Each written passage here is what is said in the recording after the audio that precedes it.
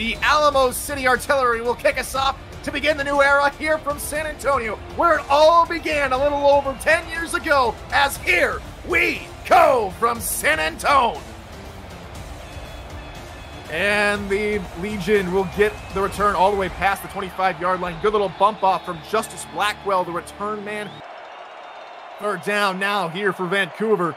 Power I look out of the Legion. They'll hand off left side for Lee. He springs through one. He puts a man to the turf for the 30 and continues running with blockers down the sideline, inside the 10, busted out of bounds at the nine yard line. Good run from the rookie. Logan Lee in the backfield. Here in this power I. will they go it to a pitch? Left side, Logan Lee out of one, but is wrapped up from behind by Bogey Barr. Chance to win with his first attempt of the season is up and good. The league's leading kicker in terms of makes and attempts last season is one for one to start this season. Yeah, but a, a, a, good drive otherwise by Vancouver. Some really positive signs both in their passing and rushing offense. Trying to put it to good use early. Second down, first passing attempt of the game for Fenech. He pumps once under pressure and is thrown to the turf. Our first sack here for Vancouver comes by the way of Cabrian Womack. Last season during the regular season, as we come now to third and long, Fenech Going to have to heave it. Rolls to his right. He's under pressure again. And he's brought down again. A two yard sack this time by the Greek Nightmare, Achilles Papatonis. And now from the 45 yard line come Vancouver. Roll out pass for Christian Brown. Loads over the middle. Caught. Here comes Chris Curtis down inside the 30 yard line and dragged down by Mickey McGuire. First down, Legion. Now on inside the two minute mark here in the first quarter. Legion from the 28 yard line. Alamo City send the blitz. One handed snag over the middle inside the 10 yard line. Go Vancouver to a power look. Pitch play near side. Logan Lee got it. Had to wait six seasons to get it done. His first game in the SFL, his first career SFL touchdown.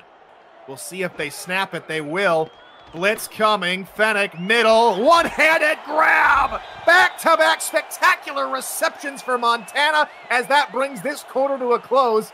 The artillery on the march. They're down by 10, 10 nothing with only one wide receiver out there. Eight men in the box here for Vancouver to try and stop the run, but Jones will pick up the first and continue to move his legs. Still going. Would not be brought down, though he was in heavy traffic. They'll gain about five.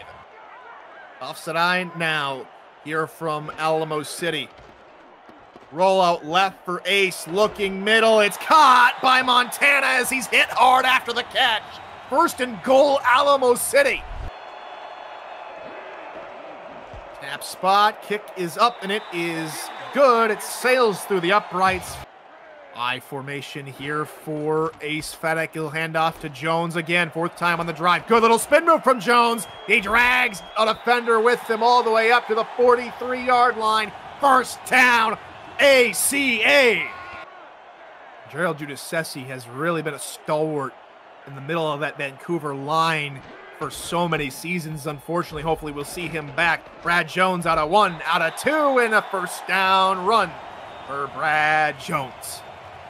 It's a methodical drive for the artillery as Fenech will look to throw now. Has time, middle and caught. Inside the five they go. There's Montana. First time we've seen him this half, and it's first and goal. Five to go on the play clock. Here on first and goal, handoff up the middle. Brad Jones runs out of one tackle, gets out of another, and he's into the end zone. Touchdown, Alamo City. Deuce Fenech in the slot left hand side. Do they go to him? Five man rush. Ace has time, looking middle, caught. There's Montana fighting beyond the 20 yard line and rolling over to the 17 yard line. They're back in the red zone. Welcome to the fourth quarter of game one of season 21. Brad Jones gets the call, fighting forward. It's a first and goal at the two. Brad Jones, who has been the best tailback in the ball game, gets the call left side and walks it in. And the artillery take the lead. And you can see the speed difference even between the fullbacks, Storm, and the rest of the linebackers. And here comes Jones again, is going to finally be brought down by Zach Lay. And they just keep running over. I formation on second down. Pitch play, Brad Jones left side looking for a block from Storm. He gets it, he fights forward with Drew Hamilton. Roll out left for Ace Fenech. Juicy stays back to try and block. One-handed, nonchalant grab from Montana, and that'll put him into first and goal territory. Goal line versus goal line. Power v power here on third and inches.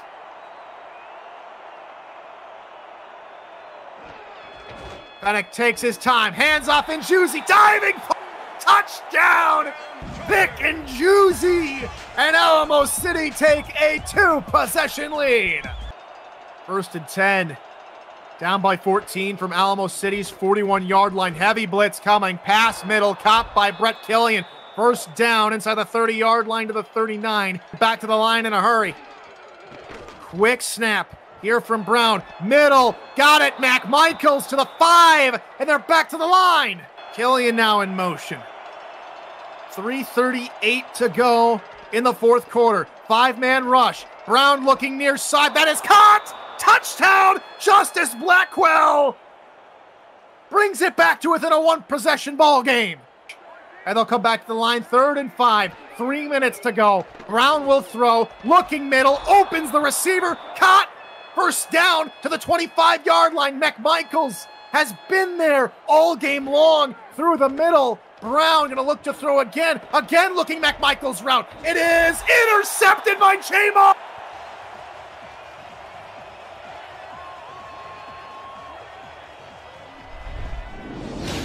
Honestly, you, you could you could pick out a few stars out of this game, but to me, he's been one of the best and perhaps one of the most important because he's shut down the Vancouver rushing offense, which has been their division since its inception a few seasons ago. There's the final kneel down from Ace Fenech.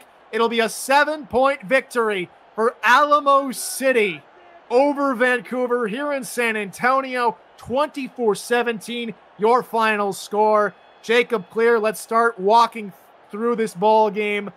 Before the injury, Brad Jones. I think Brad Jones has a case for player of the game. How about you, Park? Well, it can't be anyone but him. I mean, you could talk about Yayo Montana and defensively J Mart as well.